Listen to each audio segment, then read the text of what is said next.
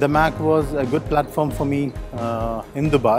Then the brand, DAMAC, the brand image helped me out a lot uh, in selling DAMAC products.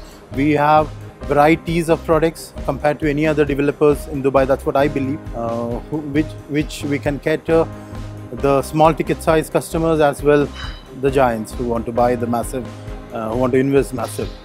So this makes me again, um, uh, it makes me helpful to sell DAMAC product, especially in real estate sales. You uh, must be thorough with the products.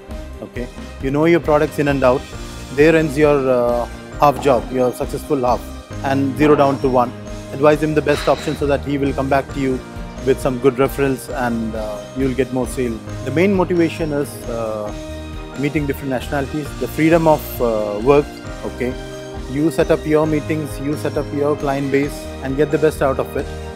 How much ever you do, that much benefit you have in sales. Plus, it's not a job, it's a passion for me.